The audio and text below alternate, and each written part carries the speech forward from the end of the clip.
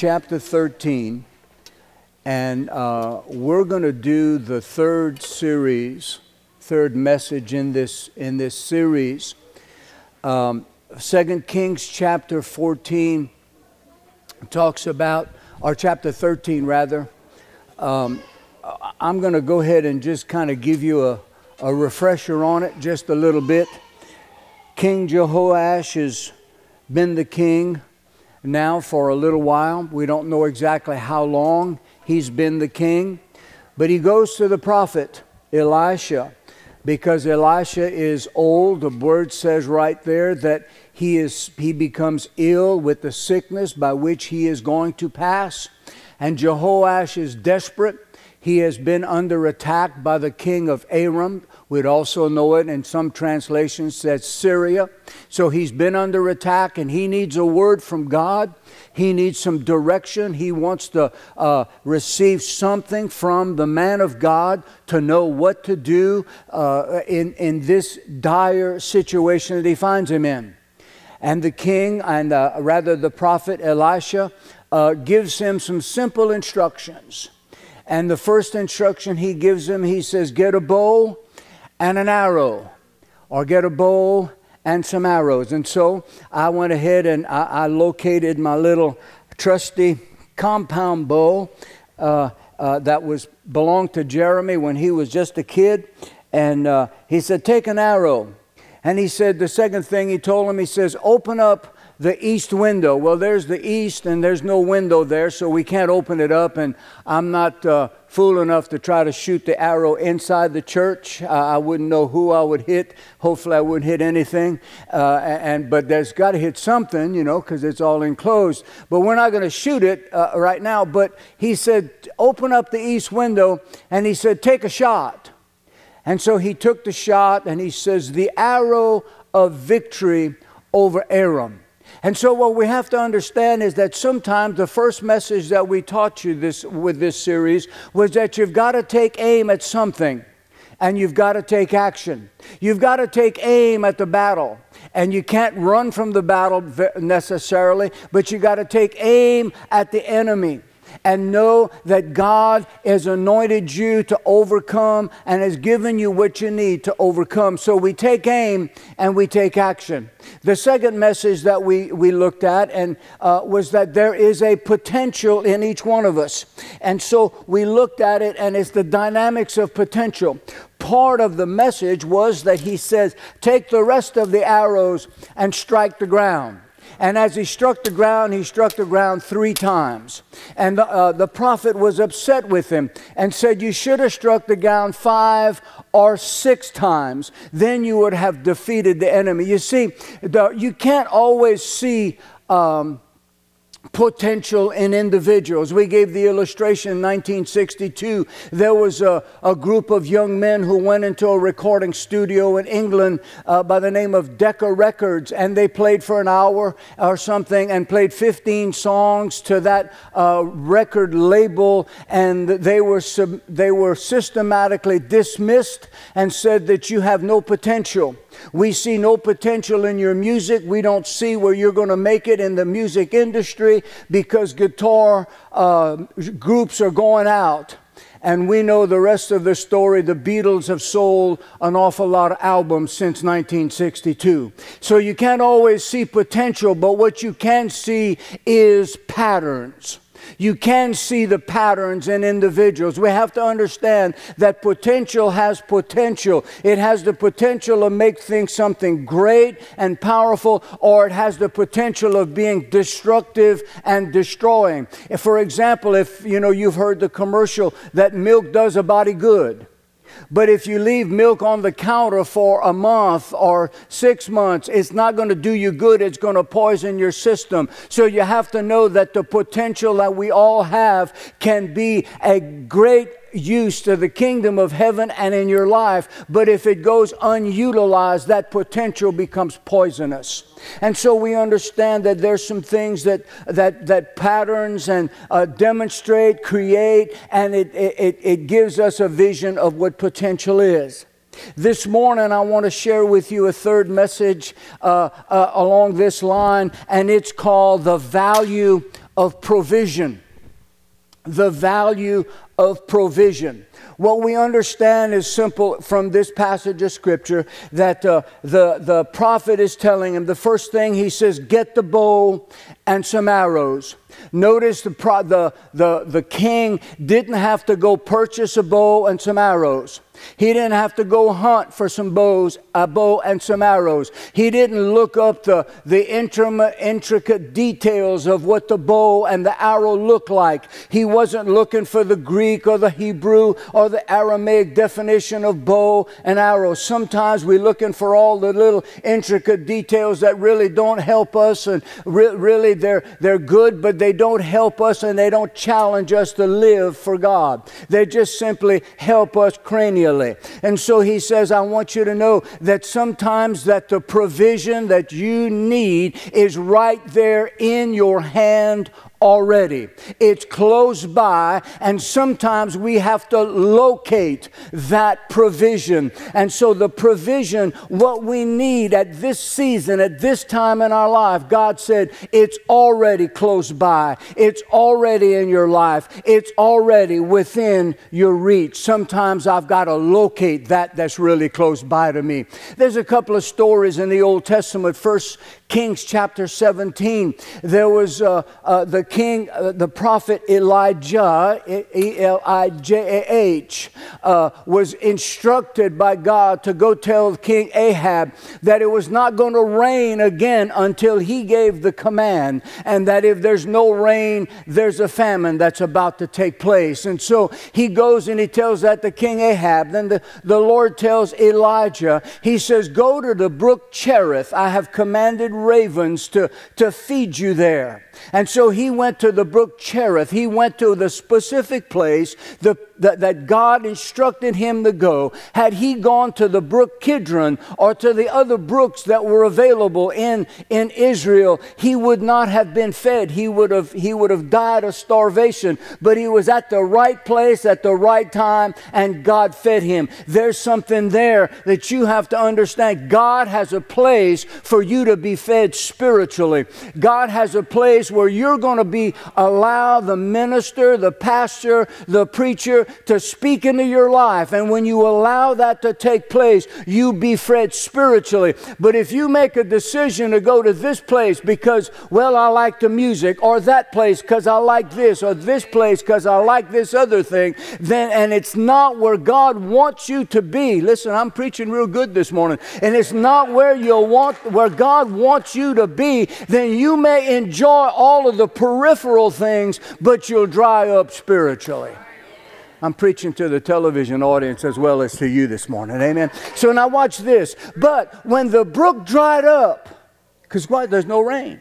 So, what's Elisha to do? What's Elijah to do? And so God speaks to him. He says, I'm sending you to Sidon. I'm sending you to Zarephath. There is a widow there. I have commanded her to take care of you, to provide for you. Now, whoa, he didn't send them to the king. He didn't send them to a rich family. He didn't tell send them to uh, the business people of the community. He sent him to the widow there in Sidon, in, in Zarephath Zarephath, and he says, Now you go. So he gets there, and, uh, and the widow uh, is, is uh, out, and she's out and about, and she's uh, just doing her daily routine. And he says to her, Would you provide, for, would you get me a little drink of water out of the well? She said, Sure.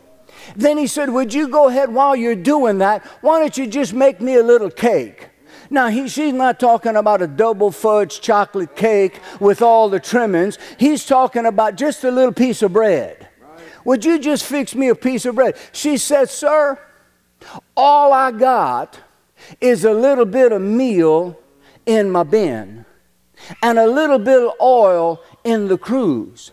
He said, she says, I'm fixing to go make a little piece of cake for my son and I. We're going to eat that and then we're going to die there's nothing left. And so now, guess what? He sent the prophet to her. She can't take care of herself.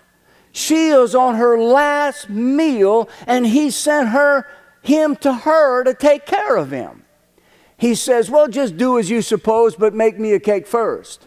Because the Lord says that your, the, the, the bin of flour, the bin of meal will not be empty, and the cruse of oil will not dry up as long as it hasn't rained. And so she goes and does it, and the word says that they ate off of that provision, and the, the, the, the, the bin of, uh, of flour or meal never emptied, and the jar of oil never emptied because she gave the little bit that she had. It was what was in her hand. Her provision was right there. Her provision for the future was right there for her and her son, was in her possession at that moment, but she didn't know it. She took the provision and she did what God said to do with the provision. And as she did that, God blessed her and He supplied her need and the prophet's need, uh, all because of her obedience. There's another story in first in Second Kings chapter uh, four. There's a woman whose husband was a son, was a prophet who was in the school of the prophets. He was going to Bible college. And uh, it cost him a lot of money to go to Bible college. And so he passes on and he leaves her in debt. And the, and the lady goes to Elisha and says, Your, your son, my husband, has passed. Uh, speaking about her, his spiritual son, not his biological son. And he says, Now I've only got a son. And the creditors are coming to take my son and put him in prison or put him in slavery to pay for the debt. What am I going to do? And he said, what, he said, What do you want me to do for you? Uh, you can go ahead and read it, Second King, Second King chapter 4. What do you want me to do? And he says, Oh, tell me, what do you have in the house? Well, what do you mean in the house? What do you mean I have something in the house? Well, all I have in the house is a small jar of oil. Oh, well, he said, Take what you have. He said, By the way, he says, Go to all your neighbors, borrow some jugs and borrow some, uh, some containers and borrow things that you need from all of your neighbors. And he says, When you go in, shut yourself off and then start taking your jar and start putting some in these other jars. And he says, Continue to do that and fill them all up. He said, Don't borrow just a few, get a whole lot of them. And so when he had filled, she had filled the last one, she, she asked her son, Bring me another jar. And uh, he said, Well, there's none. So the, the, the, the multiplication of the, the oil ceased. So he, she goes back to the prophet, says, Well, I've got all these jars of oil. What am I supposed to do now? He said, Simple, go sell them, pay off your debt, and live on the rest. What am I saying? There are sometimes you've got to use what you've got in order to, uh, to, to, to fulfill and to do what God has called you to do. Sometimes your provision is not enough uh, to take care of everything that you need. But when you give it to God, He's not going to overlook the, the, the meager supply that you have. But when you give it to Him and trust in Him, He's going to multiply it. Glory to God. Now, watch this. There's a third one in the New Testament, Matthew chapter 14. The, Jesus has got, uh, uh, he's, he's ministering and, and he's got his natural amphitheater. He's in the valley and there's people all over over the mountainside and he's projecting and they're getting hungry. They've been there for several hours and he tells his disciples, he said, Feed the people. And they looked at him and said, Jesus, we don't have enough money to feed all these people. 200 days of 200 denarii or 200 days' wages wouldn't be enough to feed all these people. He said, What do you got? He said, Well, there's this little boy here's got a two piece fish dinner from, from uh, uh, fish daddies. And, and, and, and he says, Well, he said, bring it here. So he blesses it. And I said, Tell the people to sit down, 50 at a 50 in a group. And he said, and then he blessed the food and he gave he started breaking them, giving it to his disciples. And you know the story. They picked up 12, 12 baskets full of food. What am I saying? Sometimes we've got to take what we've got. We've got to take the shot. Elisha told the, the prophet, get the bow, get the arrow. That may be all you've got, but you got to take the shot. You've got to do something with what you have. It's not just a matter of saying, I, I only have this or I only have that. You've got to take the shot. And I want you to see something that it wasn't a lack of the weaponry, it wasn't the lack of the arrows that the, that the, that the, the king had. He had a handful of arrows. It wasn't a lack of the equipment, it was a lack of his will. It was a lack of his determination. It was a lack of his effort. And you see, sometimes I believe that we have a lack because of the lack, not because of what God has already provided, not because of what's not, what's not already in our hand, but because of our lack of effort, our lack of determination. And so we realize that there is something that God has given me everything that I need in this season of my life. I want you to say that with me. God has given me everything that I need in this season of my life. Now, watch this God's provision doesn't always prevent the attack, it doesn't always prevent the battle. See, Jesus made the statement in this world, you're going to have some tracas. If you don't know French, that means you're going to have some trouble you're going to have some tribulation. It's there. And but he says, but in the process of the troubles of life, God gives us the means. He gives us the wherewithal. He gives us the anointing. He gives us the supply. He gives us the provision to withstand, overcome, conquer, and have victory in every battle and every difficulty of our life. Now I'm going to get a little serious here. See, many people come to God because they're like King Jehoash. They're in a desperate situation. They're desperate financially. They're desperate health wise. They're desperate in their relationships. They're desperate for God to do something in their life. But so many, and too many, when the desperation has been met and the need has been met, and God moves and does some miraculous things, they suddenly or gradually begin to drift away. They drift out of church. They drift out of their relationship with God. They drift out of their commitment to God.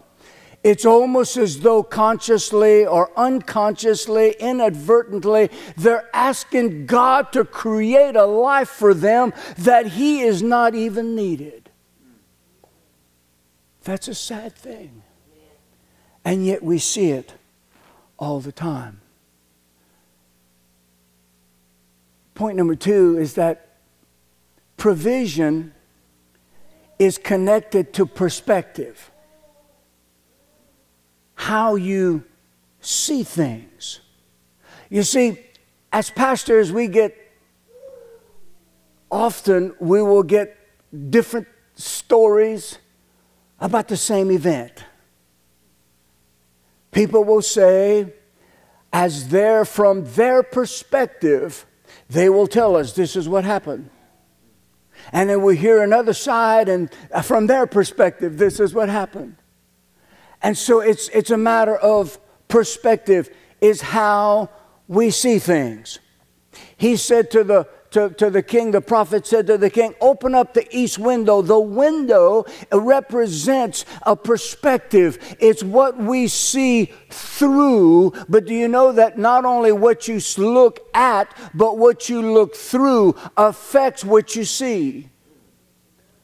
It's interesting, isn't there? There's another passage in Malachi chapter 3 that talks about another window that God wants to open up for us.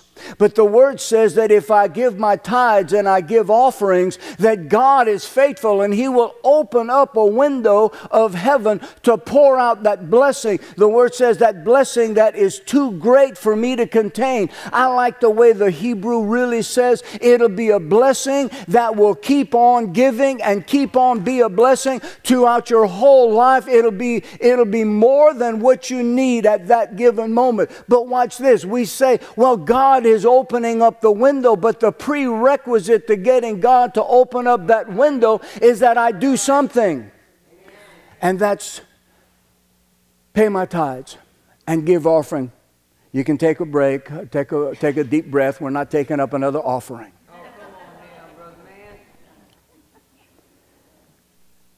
But see, it has to do with the lens that I'm looking at. My perspective will be uh, uh, in direct relationship to the lens that I'm looking to. I believe too many people look through the lens of limitation, the lens that says, I don't have enough. I can't do that. The lens tells you what you don't have, not what you do have. It's, it's what am I missing? What am I lacking? And so, too often we look at len- through lenses. Now, I'm looking through uh, some lenses right now, and, and you all are clear and, and beautiful, and I can see that all of your eyes are open. But if I take these lenses off, I can still tell who you are, but I can't tell whether Janice has her eyes open or they're closed. I can't, I, can't, I can't pick out a whole lot of detail. Now, uh, for some of you, you we, we, did a message some time back about pink and blue, and, and sometimes you put on some glasses, whoo, and Megan is blue. Not emotionally, she's just blue. She looks like the little Smurf girl. Uh, and, and, so sometimes we, we see things from tinted glasses. We see things because of our past, because of where we've been, because perhaps uh, the, the upbringing that we had. We see things in a specific perspective, and that will affect how we operate and how we live. And sometimes you put on some of the some of the pink glasses. And you just, well, you're really looking cool now, Pastor. I, it's great because I can't see you at all with these things on because I need, I need the, the glasses that are progressive. So we put these back on see which direction I need to preach in.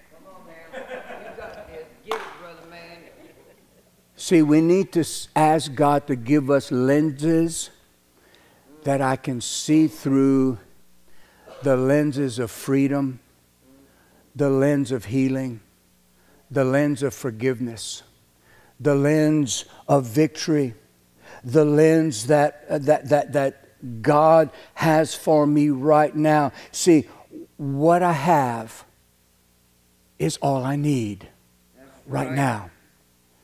You see, right in the season that I'm in, God has what I need. But if I'm not seeing it through the right perspective, to the right glasses, I have a mentality of lack.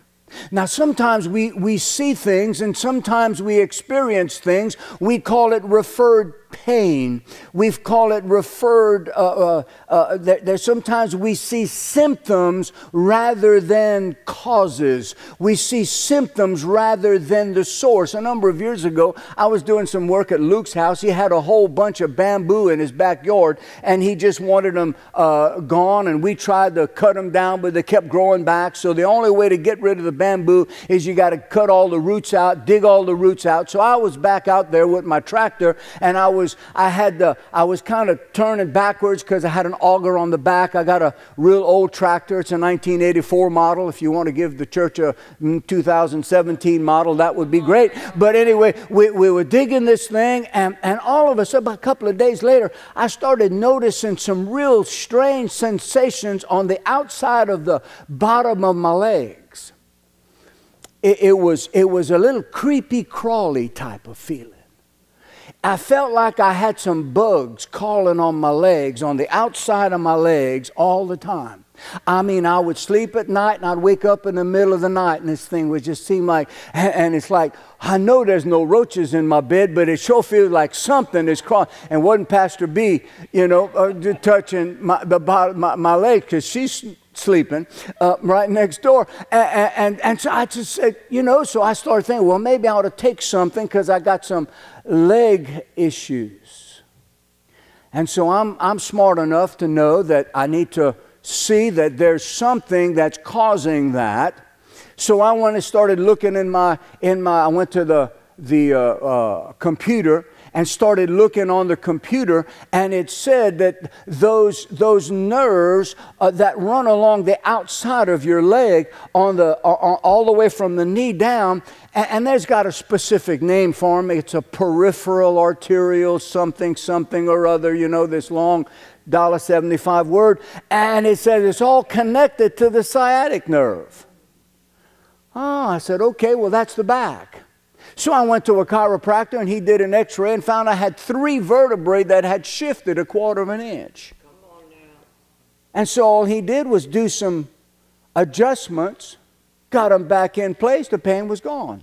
Now, you see, I could have taken all kind of medication for those, for those legs. I could have gone to the doctor, said, listen, I got these problems with the legs, and he'd have given me some muscle relaxers. He'd have given me some of this and some of that, and, and, and maybe that'll work, but it would not have gone to the source, would not have gone to the, to the, to the, to the issue that was there. And so sometimes our, uh, we, we look at our need, we look at what's out there, and God says, you got to look beneath meet the need, you got to look to another system. You got to look to a different place because what you're working on may only handle the symptoms, but until I get to see it personally, until I get to see it the way God wants me to see it, then I'm not going to get to the right source and not the, the, the right difficulty. See, you got to realize that God sees my, see, I might be going through an issue today, but God sees my tomorrows and He knows what I need when I get there. And so He's always working to provide for me every day because He is Jehovah Jireh. Now, watch this. God doesn't always prevent the battles of life. I'd like to tell you that when you give your heart to Jesus, you'd never have any more battles. I'd be lying. God doesn't always, God's provision doesn't always prevent the battles. In 1 Samuel chapter 17, there's a young man by the name of David. He is a shepherd and uh, he's bringing some uh, cheese and some bread to his brothers who are on the battle lines.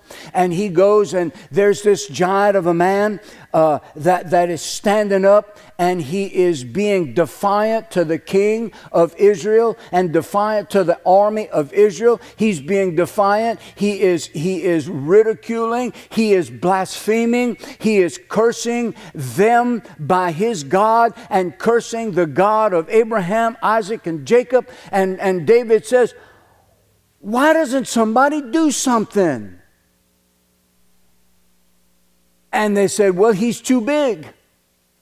David simply said, The bigger they are, the harder they fall. He's too big to miss.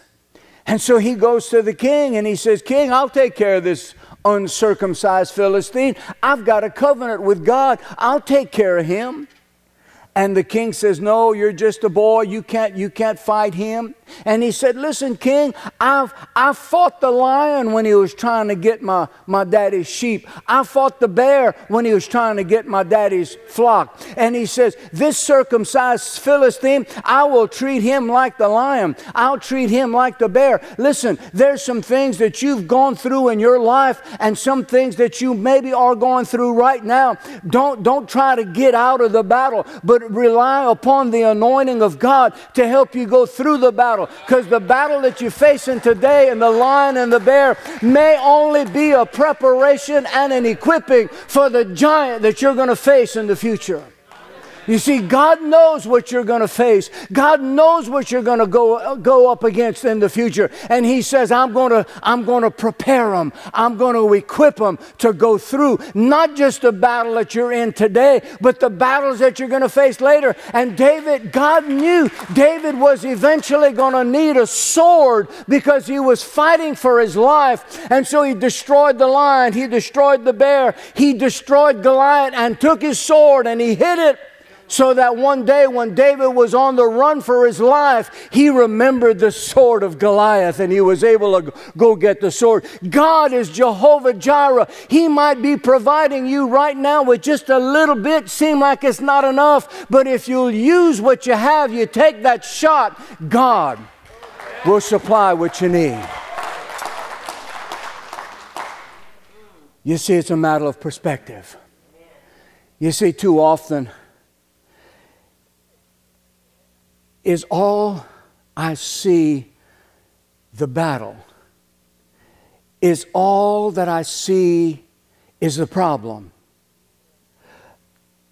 Or can I, can I see the potential that's laced and enwrapped in this problem? You see, sometimes I only see what I'm missing, I only see what I'm not seeing. I'm only seeing what I don't have. And sometimes I got to start asking different questions rather than, God, where are you? I need to start asking, God, what am I, what am I missing? What am I, what am I not seeing? What do I have in my life right now? What, I, what do I have right now that you have already provided for me? What is in my possession? What is so close at hand that all I need to do is utilize it? What provision are you making and you've given me at this point, at this season in my life, because I am here and this is where I am? You see, sometimes God's provision comes in strange packages, sometimes it comes in a bow and an arrow. Sometimes it comes in a little cruse of oil. Sometimes it comes like a two fish piece dinner. A two piece fish dinner. I'll get it right.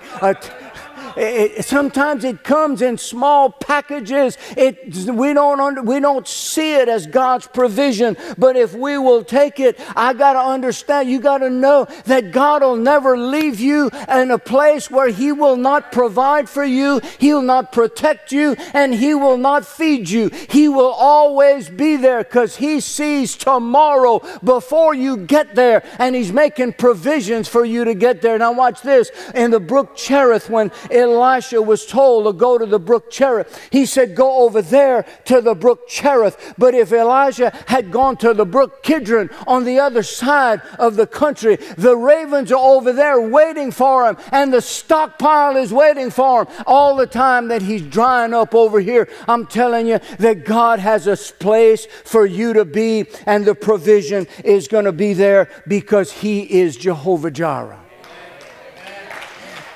I got one more point. If I got a few more minutes with you.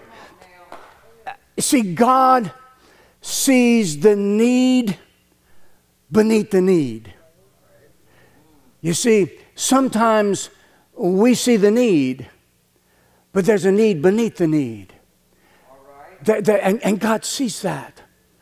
And I believe that He wants us to have the perspective so that we have the vision as part of the provision to see the need beneath the need. In Acts chapter 3, the apostle Peter and John were going to the temple at the hour of prayer. It says the night out, the ninth hour. They were going to pray. And there was a man there, it says that he was lame from his mother's womb. And he was there begging alms. And there was something that, as they walked by, I'm sure he was saying alms for the blind or alms for the lame, something to that effect. And he got Peter's attention. And Peter said to him, Look at us. The first thing Peter said listen, I see you. Now, could it be that there were multitudes of people, praying people, good folks, who got to church before Peter? And perhaps many would have gotten to church after Peter. And they walk right by him, not seeing the need, much less the need beneath the need. You see, sometimes we need to be at the right place with the right people doing the right thing to have our need met and this man at that day. And it's very possible that the apostles had walked by him on previous days. It's very possible that maybe even Jesus himself walked by him to pray. And somehow, this day, it was his day. Somehow, it was his time Somehow he was at the right place because God saw beneath the need. Listen, I want to encourage you, those that are here, those that are watching by television, when the church is open and the man of God that you call your pastor is going to bring a message, do everything you can to be there. Because you don't know if that one Sunday, that one message will have an insert in it that's just for you. Not that pastor was, was praying and, and, that, and that he had a message just for you, but the Holy Ghost can take a section of a whole message and, and, and it zero in on what you need and see your need beneath the need and begin to speak to that so that when you leave, you simply say, Man, the Holy Ghost spoke to me today. Why? Because I was in the right place at the right time. Peter fixed his eyes on him and he says, I got good news for you. I see you. Because too many people walk right by him and didn't see him. I like to think that Peter saw a miracle that no one else saw.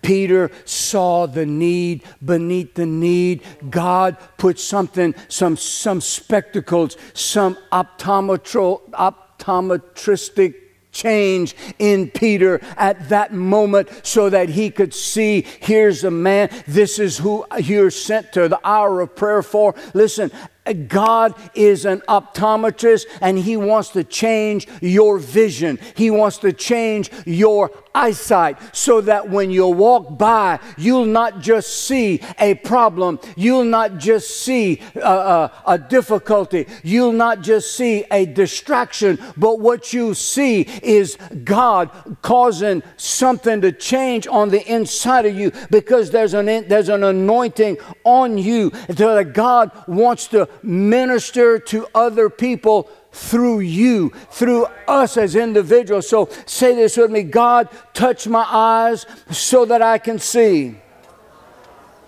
Lord, remove the lenses of limitation from my eyes. Lord, open the eyes of my heart. Now, watch this. The man looked at them with an expectation. I, am sure others have, have, just walked by, maybe threw him a little uh, pocket change, a little bit of uh, loose change that they had in his little cup. Uh, they just, uh, just honored him by, by doing that. And see, he was expecting a meal, but he got a miracle. He was expecting something from God, but his expectation was far below what God could do in his life and wanted to do in his life. Ephesians chapter 3 says, God is able to do more abundantly, more than we can ask or imagine, according to the, the, the according to the power that is in us. Amen. Um, and watch this. Attention was all this guy had.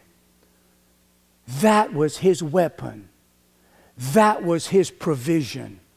And when he paid attention, God opened that window. Could it be that so many people are in need in their life, not because of what they're not getting, because they're not opening the window by paying some attention to some of the things that are already in their life.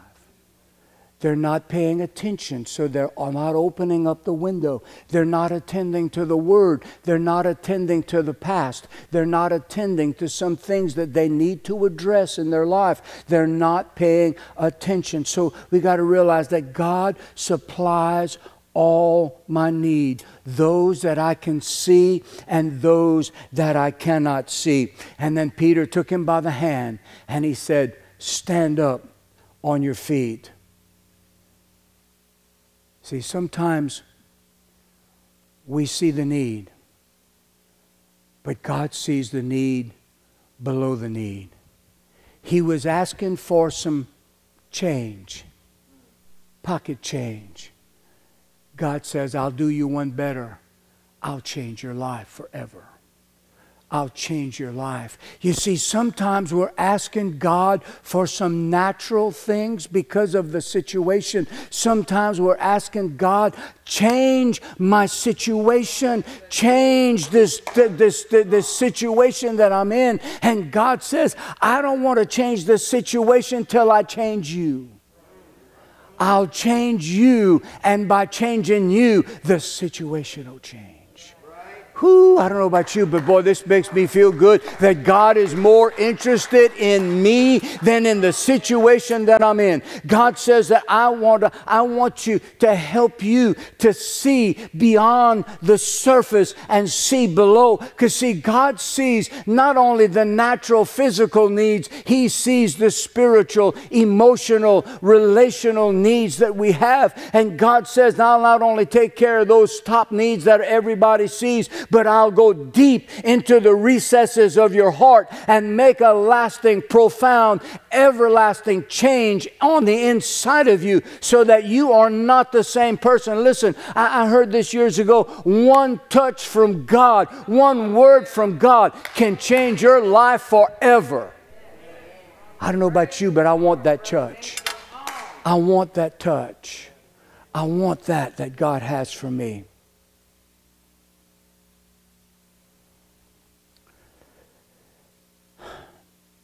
Could it be? And I, this is some food for your thought. That God wants to use you in the same way that He used Peter.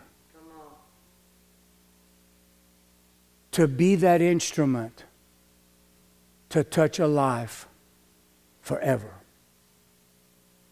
To be that instrument with the anointing. It's not you, it's not Peter. It was the anointing upon Peter. You, you understand that. But at the same time, I believe that God wants this church to be like Peter. He wants you and I to be like Peter.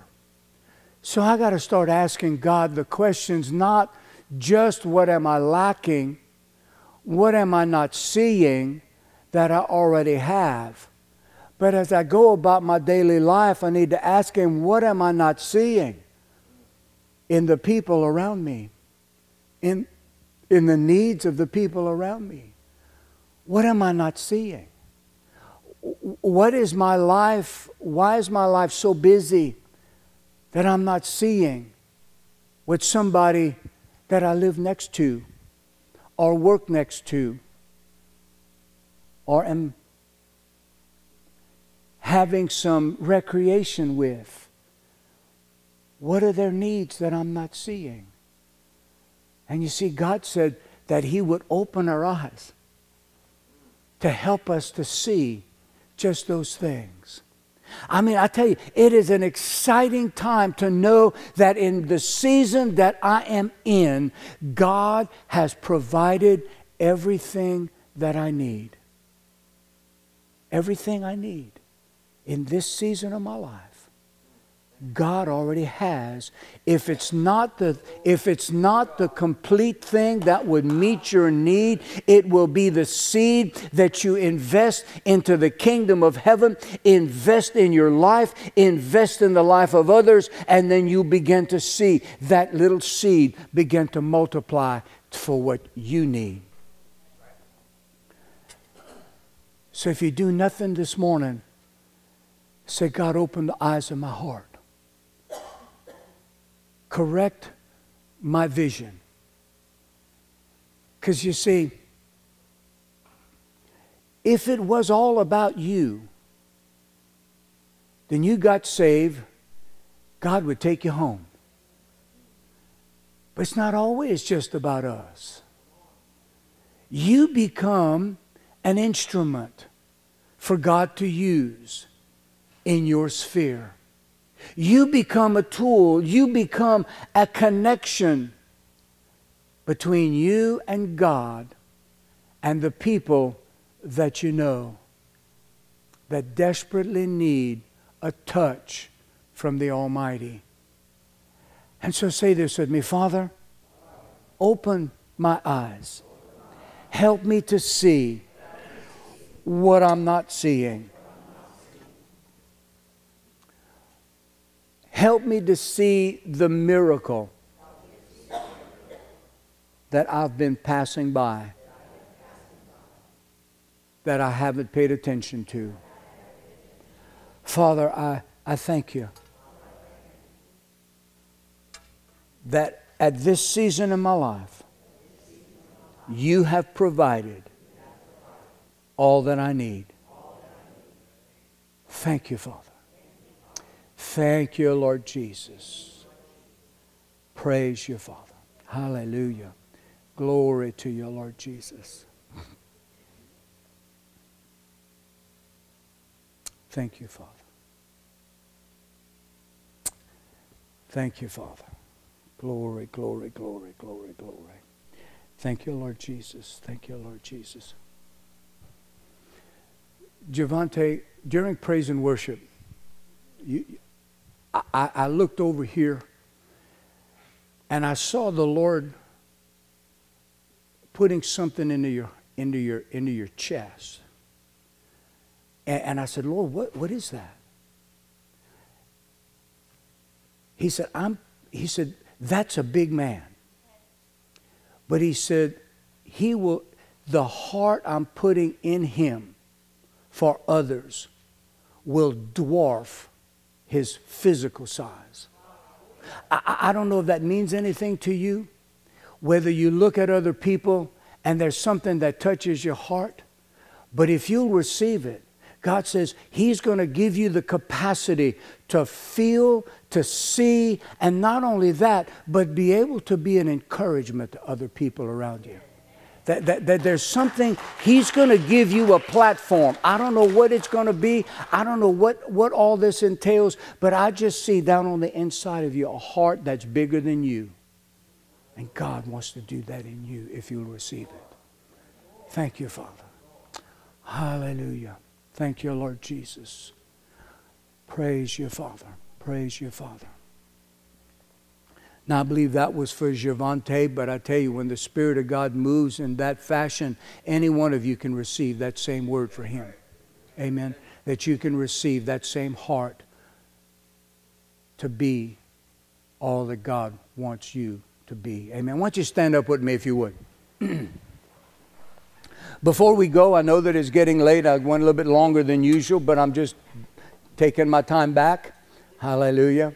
Thank you again for pastor appreciation. I got to ask you before we go. There's some some guests with us for the first time. If this is the if if if you've never made Jesus the Lord of your life, if this were your last day on planet Earth, and and and, and we don't know, uh, God never promises us tomorrow. If this were your last day, where would you spend eternity? Would you spend eternity with God because He's opened up heaven to you uh, by have, because you've accepted Jesus, or you've you've not necessarily rejected Him, but you've not consciously received Him, uh, and you would spend your eternity without God, without the Father and you don't know for sure, I'd like for you to lift your hand. I'd like to pray with you. If there's anybody here, you say, I, am not sure if I'm going to heaven or not. I'm, not, I'm really not sure. Listen, there is a heaven to gain, and there is a, a hell to shun and to turn away from. And if you're just not sure, I want you to raise your hand and I want, I want to pray for you. Anybody like that here? See that hand. Thank you, Father. Anybody else? Thank you, Lord Jesus.